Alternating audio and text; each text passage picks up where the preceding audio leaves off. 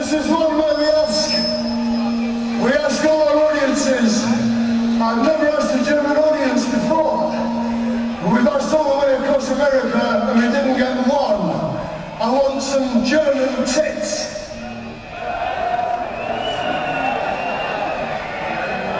Busen. Look,